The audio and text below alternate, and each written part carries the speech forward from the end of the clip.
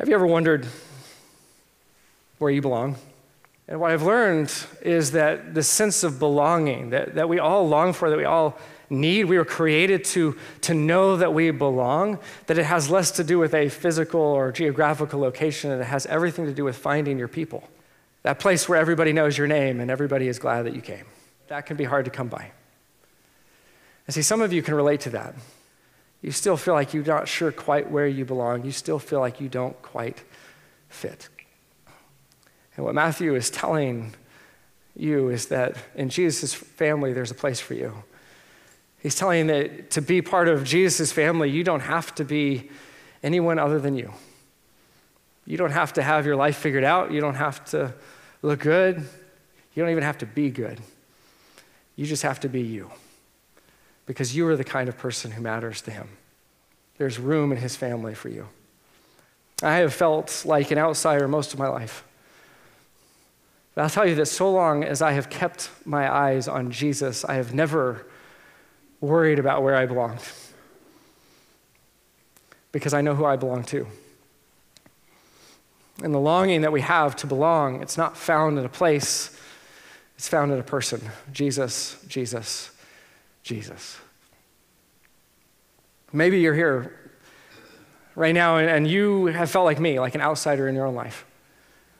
Or maybe you look back over your stories, your history, and there's things that you regret, things that you wish you could do over that you could rewrite. Maybe you're not sure where you belong because you're not sure who would ever have you. I want you to know that right now God is speaking over you, over your story, over your history. Jesus, Jesus, Jesus. He is the one who makes sense of all of your stories.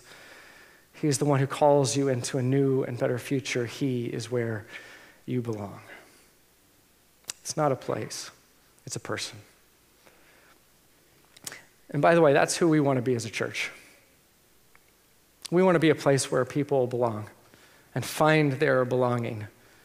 Not because we're so great, but because this is where they can meet Jesus. That He is here with us. And if you have never met Jesus, can I tell you that He wants to meet you? He already knows you. He knows everything about you. He created you. He knows you better than you know yourself. He knows all the things that you don't think anyone knows, and He knows things about you that you don't. And He loves you more than you can possibly imagine.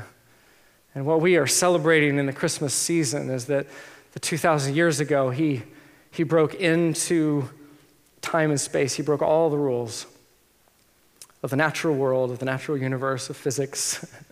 he stepped in so that He could give His life for you so that you could give your life to Him and you could find the life that you were created to live. You could experience the abundant life that only He has for you. And if you've never met Him like that, I want you to know that this morning you can give your life to Jesus. Like this morning, you could make a decision. Say, Jesus, I'm not sure if I really know you, but I know that you gave your life for me, and so I'm taking that first step I want to meet you. I want to give my life to you. In just a moment, I'm going to pray for you. But I want you to know that you don't have to have your life figured out. All that matters is that you're you. He made you. You don't have to be good enough. You don't have to have all the answers. You don't have to impress anyone, not even Him. There's a place for you in His family.